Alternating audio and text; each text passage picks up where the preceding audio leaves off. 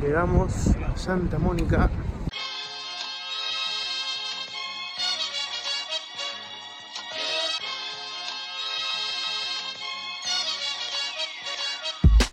Bueno, hola a todos. Este es el último video de la serie por Estados Unidos. Esta semana, si todo sale bien, esténse atentos porque se viene otra serie en el canal. Así que suscríbanse y activen la campanita para no perderse nada.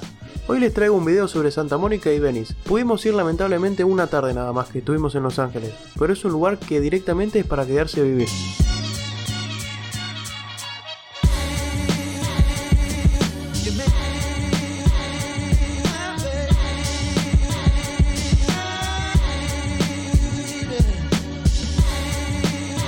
Lo primero que hicimos fue ir al Pier de Santa Mónica, que es el que aparece en el GTA, sí, y también es el lugar exacto donde termina la Ruta 66. En el Pier hay como un mini parque de diversiones con una montaña rusa, una vuelta al mundo y otras atracciones. También tienen un, como estos mini puestos de juegos de las típicas películas yankee que si ganaste dan peluches. Lo mejor del Pier igual son las vistas de toda la costa. Al lado del Océano Pacífico es un lugar espectacular.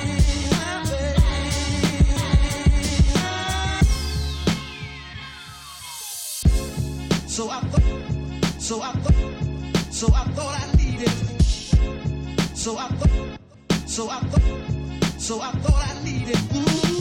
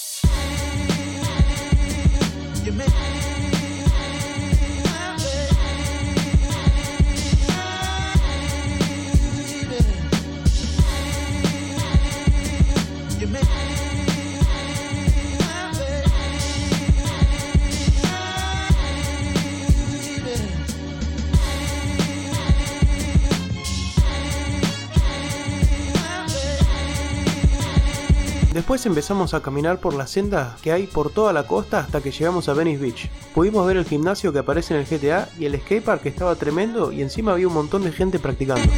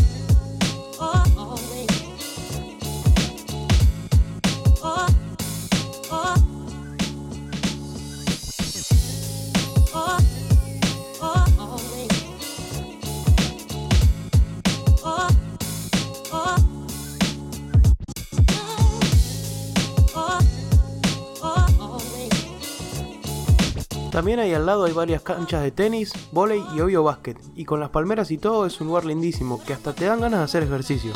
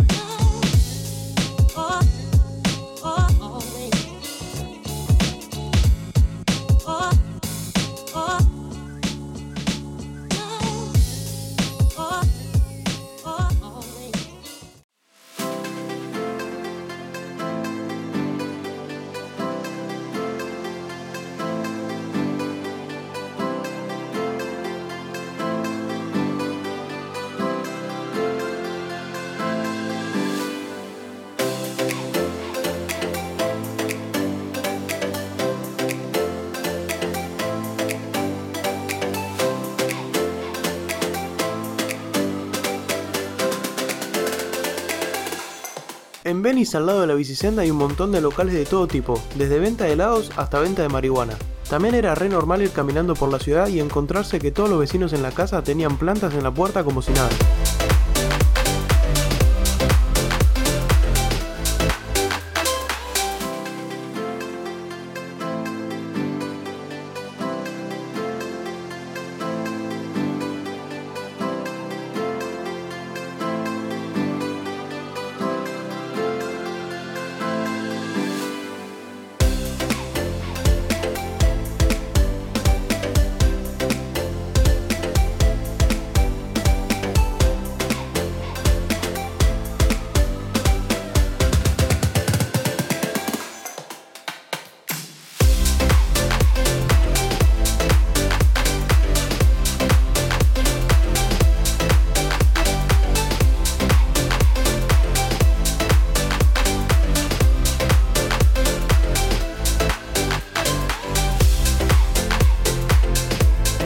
Otra cosa también hermosa para ver en Venice son justamente los canales, que simulan ser Venecia en Italia.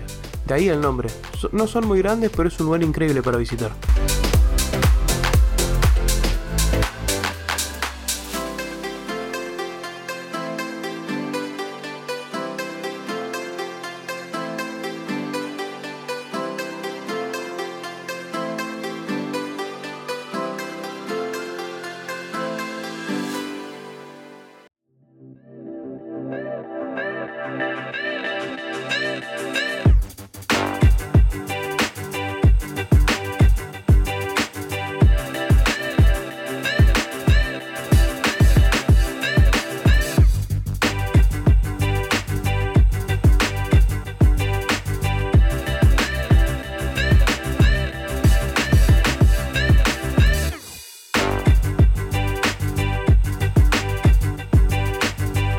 De las mejores decisiones fue habernos quedado para ver caer el sol. Nunca vi un cielo tan naranja con tonos tirándose a violetas, que era todo increíble, y de nuevo, las palmeras hacían que sea un lugar mágico.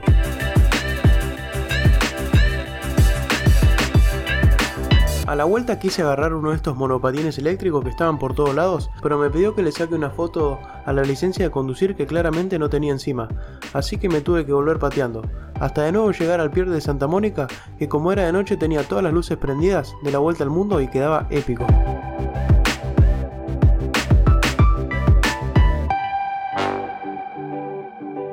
Esa noche para volver nos tomamos el metro desde Santa Mónica hasta Union Station y de ahí nos tomamos la línea roja para volver de vuelta a Hollywood.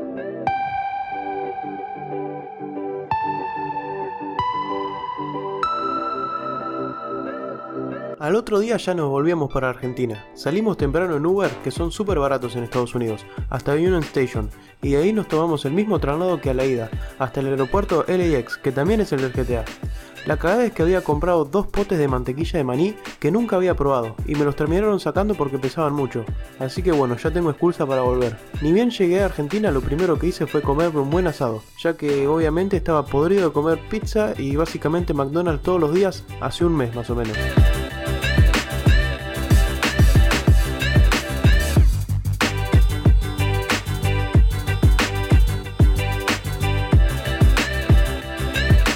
Gracias a todos los que me apoyaron en esta miniserie. Al principio no tenía pensado subir nada, pero con todo lo que tenía pude sacar algunos videos para compartirles un poco todo lo que fue mi viaje. Capaz la calidad no fue la mejor ni el contenido tampoco, pero aprendí un montón en el proceso.